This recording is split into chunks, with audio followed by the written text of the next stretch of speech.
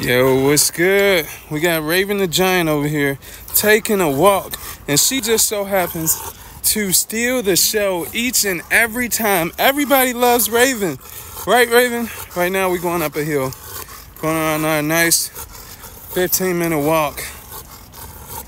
But it's like every time people are like, Excuse me, oh my god, I love your dog.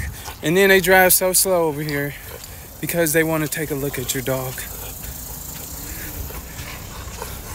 Raven, on the other hand, she likes it. She likes all the attention. She wants all of the smoke, guys.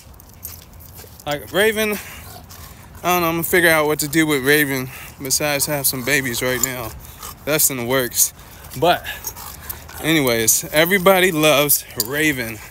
Okay, look at that coat. She's so beautiful. It's Raven the Giant, guys.